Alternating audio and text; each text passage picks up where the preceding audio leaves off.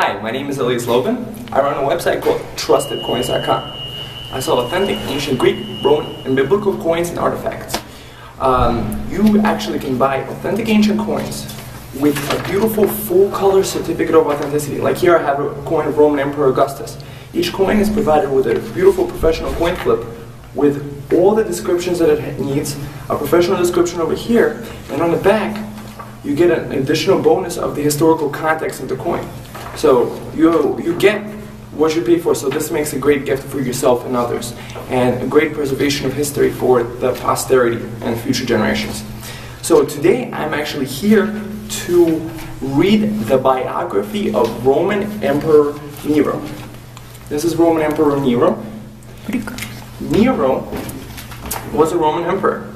So here I shall begin.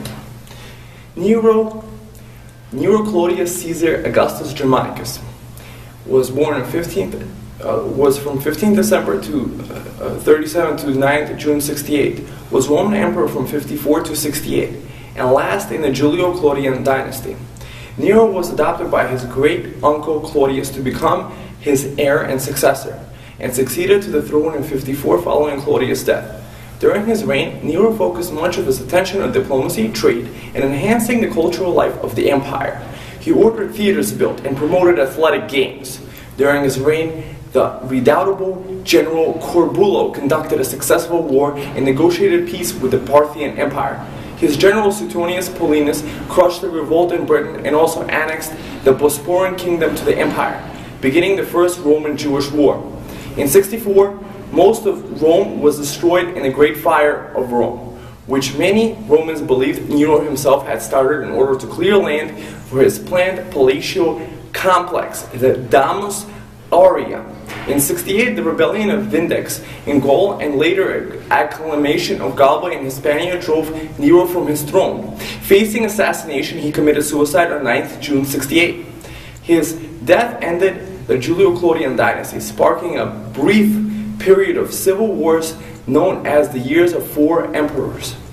Nero's rule is often associated with tyranny and extravagance. He is also known for many executions, including those of his mother, and a probable murder by poison of his stepbrother Britannicus.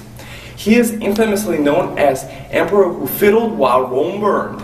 Although this not, is now considered an inaccurate rumor and as an early prosecutor of Christians, he was known for having captured Christians, burned burned in his garden at night for source of light.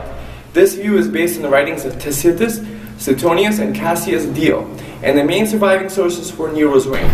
Few surviving sources paint Nero in favorable light.